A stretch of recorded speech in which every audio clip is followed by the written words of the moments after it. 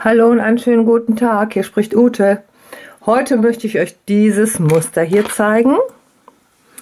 Die Seiten nicht, sondern nur ein Rapport von diesem Muster. Also so. Ja, so ein Stück. Das zeige ich euch, das stricken wir gleich zusammen und ihr könnt, wenn ihr möchtet, das so übereinander oder nebeneinander weiterlaufen lassen. Dieses Muster hier am Rand, das habe ich schon mal in einem kleinen Video gezeigt und stricke das jetzt auch nicht mit, weil ich denke, alles was über 10 Minuten hinausgeht, hat keiner mehr Lust zu schauen. Also könnte dieses Lochmusterzacken heißt das, also Lochmusterzacken sind das hier, findet ihr ein kleines Video, wo ich euch zeige, wie dieses Muster gestrickt wird, ja? Also, das könnt ihr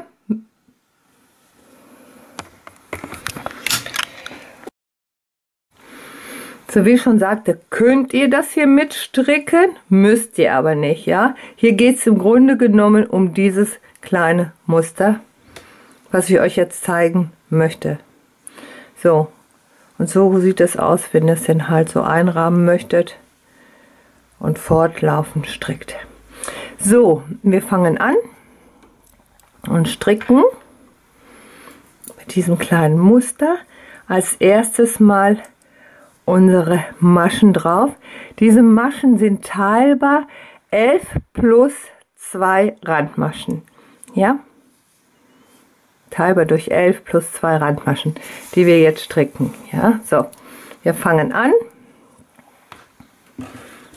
Ich habe hier schon meine Randmaschen gestrickt. So. Dann stricken wir. Erstmal zwei Reihen rechts hin und her. Ja, in diesem Fall habe ich das schon. Und jetzt stricke ich eins, zwei, drei Maschen und stricke zwei Maschen rechts zusammen. Also hier einstechen, von hier, so, Faden holen und durch die Masche ziehen. Dann sieht es so aus. Ja? Einen Umschlag und jetzt kommt's, das müsst ihr euch gut merken. Wir stricken durch diese rechte Masche, stricken wir durch. Halten den Faden aber fest und stechen eins, zwei tiefer. Seht ihr das? Hier, wir ziehen den Faden so rüber. Ich habe hier eingestochen, ich mache es nochmal. Stech hier ein, hol den Faden Halt den fest. Da habe ich hier ein, zwei, gehe hier durch, hole wieder einen Faden. So habe ich zwei. Und dann gehe ich nochmal hier oben durch die Masche, wo ich als erstes durchgegangen bin. Da hole ich mir dann auch nochmal einen Faden. Dann habe ich genau eins, zwei, drei Fäden. Ja, so.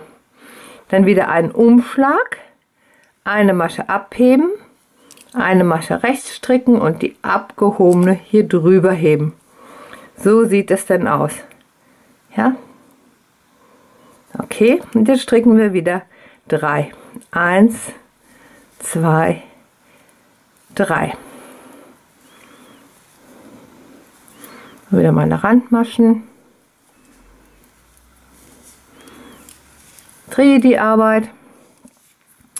Und jetzt müssen wir, das ist die einzigste Reihe, die wir von links stricken. Und zwar geht die wie folgt. Wieder meine Randmaschen. Stricken jetzt zwei links. Eins, zwei. Und jetzt stricken wir zwei links zusammen. Okay? So. Und jetzt stricken wir fünf Maschen links. Eins, zwei, drei, so, ja, fünf Maschen links. Und diese zwei stricken wir wieder. Nach den fünf linken stricken wir hier wieder zwei links zusammen. Fünf links zwei links zusammen und wieder zwei linke Maschen. Ja? So. Und dann drehen wir die Arbeit wieder. Dann drehen wir die Arbeit wieder, wie ich jetzt eben schon sagte, und fangen die nächste Reihe an. So. Okay. Jetzt stricken wir eine Masche rechts, zwei zusammen. So, ihr seht es auch hier, dass ihr immer davor eine davor und diese zwei dann hier zusammen stricken müsst. Soll ich noch mal zeigen, damit ihr euch besser merken könnt. Wir haben hier die Maschen aufliegend und davor strickt ihr diese zwei, also eine normale rechte und die mit der liegenden zusammen ist, die strickt ihr dann so rechts zusammen. Schon habt ihr wieder eine liegende. Ein Umschlag, ja, und wieder zwei rechts zusammenstricken. Okay, dann kommen hier wieder zwei rechts zusammen. Na, will nicht so, wie ich das will. Das habe ich manchmal so. So. Okay, und jetzt stricken wir drei Maschen rechts. Eins, zwei, drei. Ein Umschlag, eine Masche abheben, eine Masche rechts stricken und die abgehobene darüber. Einen Umschlag, eine Masche abheben, eine rechts stricken, darüber heben. Seht ihr? Und so schon haben wir es hier. Ha? Okay, so wird es gestrickt. Und jetzt stricken wir, drehen wir die Arbeit wieder um. So.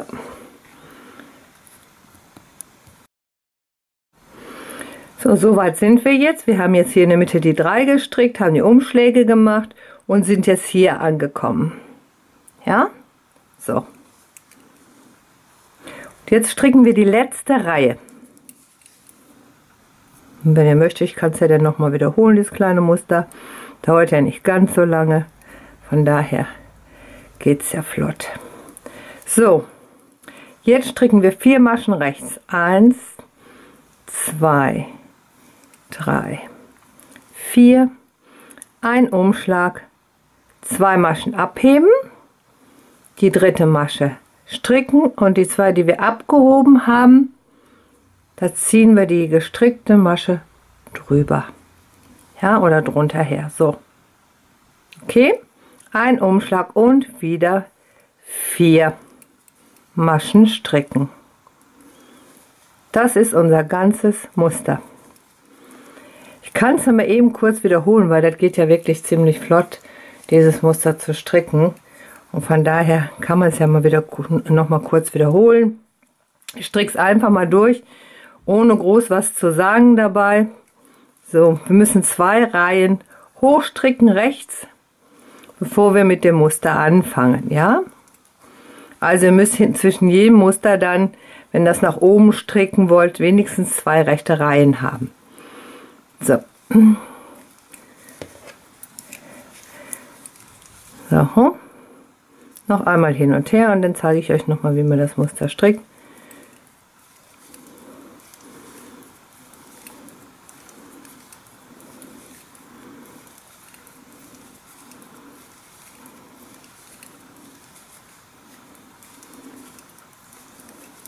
Meine Randmaschen.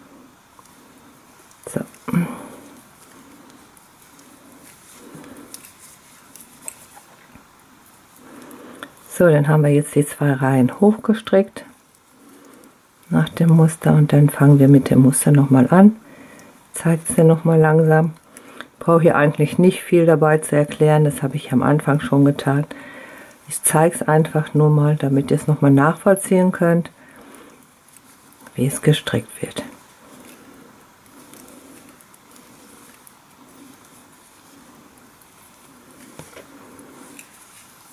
Eine Seite legen. Irritiert vielleicht ein bisschen. So.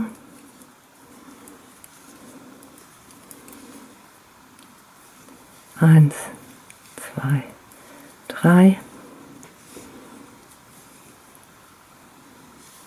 Rechts zusammen. Ein Umschlag. Rechts. Zwei tiefer stechen. Faden holen. So, und dann hier oben nochmal rein. Nochmal den Faden holen. So, dann haben wir drei. Eins, zwei, drei. Ein Umschlag und zusammenstricken. Ja, so. So sieht es jetzt aus. Und dann stricken wir wieder drei rechte. So.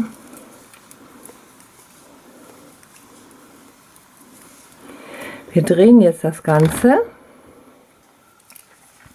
stricken alle Maschen links, so wie sie erscheinen, ja? Das sind meine Randmaschen. Geht gar nicht, wir können gar nicht alle Maschen so stricken, wie es schon, weil diese Reihe, die gibt es jetzt nur einmal auf der linken Seite.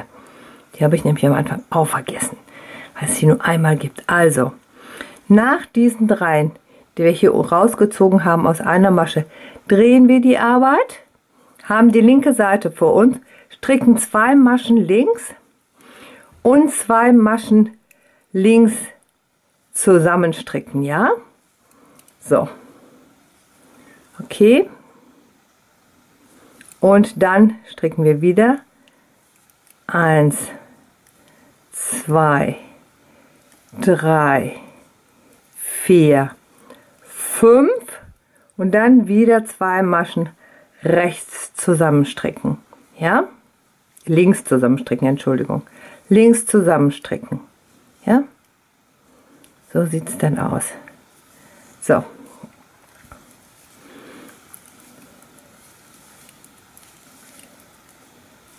Okay. Wir wenden die Arbeit.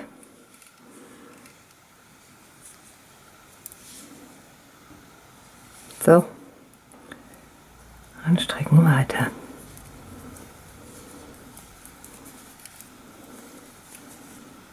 Eine Masche rechts, zwei zusammen.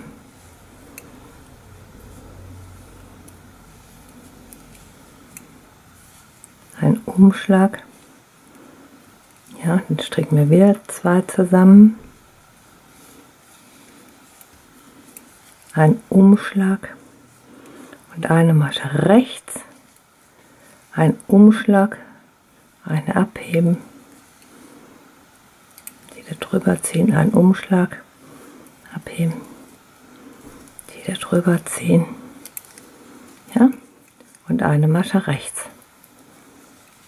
Und meine Randmaschen. Jetzt stricken wir von links alle Maschen so, wie sie erscheinen. Also wir haben nur eine Reihe hinten auf der linken Seite, wo sich zwei Maschen links dann zusammengestrickt werden. Und dazwischen liegen dann fünf Maschen.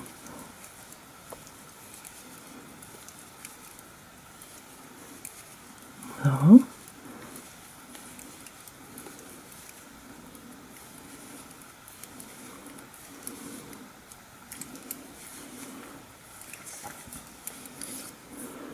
Kommt die vorletzte Reihe.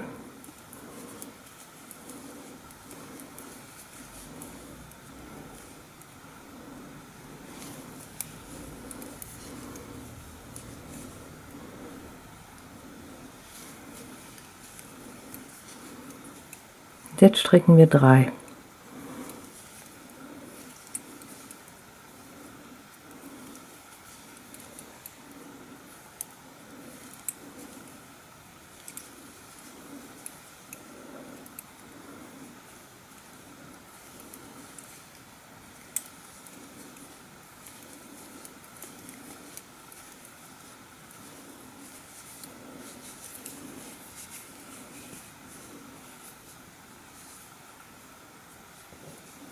So sieht es jetzt auch bei euch aus.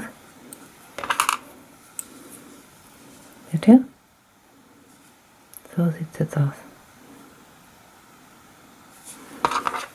Wir drehen die Arbeit, stricken jetzt alle Maschen nochmal links. Auch die Umschläge links stricken. Ja, den Faden so rübernehmen, hoch und drunter wegziehen vor, hochheben, drunter wegziehen. Ja. So.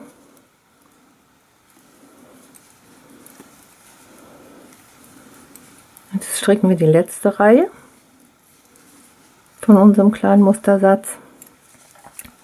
Das wären jetzt, in dem Falle kommen jetzt vier Maschen rechts, drei, vier, ein Umschlag, vier, ein Umschlag und jetzt heben wir zwei Maschen ab, ja, vier Maschen rechts, ein Umschlag, zwei abheben, eine stricken, die zwei, die wir nicht gestrickt haben, die nehmen wir jetzt mal zu uns hin so und ziehen den, die eine Masche, die wir gestrickt haben, da durch. Ja, so. Dann sieht so aus. Jetzt ein Umschlag und wieder vier Maschen rechts stricken. So. Nochmal alles links. So.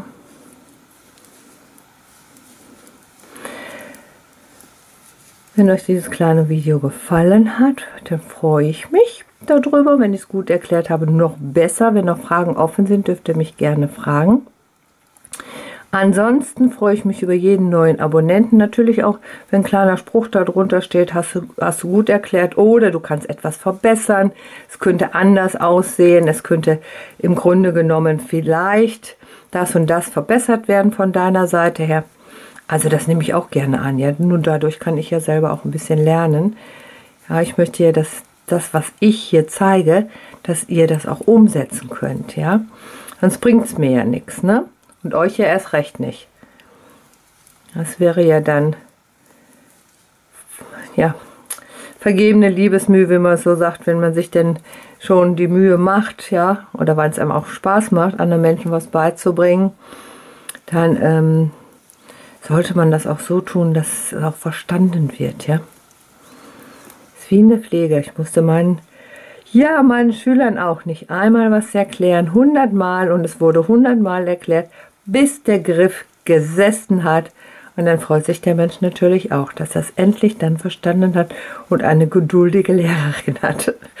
So, so sieht das Muster dann aus, wenn es fertig ist.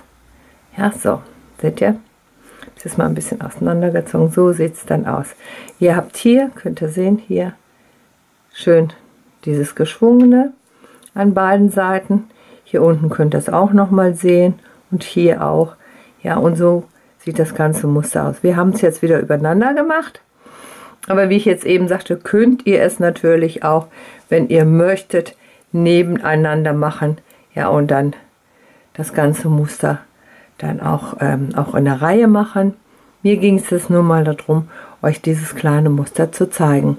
Also viel Spaß bei diesem kleinen Video. Wünscht euch eure Ute. Bis dann. Natürlich freue ich mich über jeden, der meinen Kanal abonniert.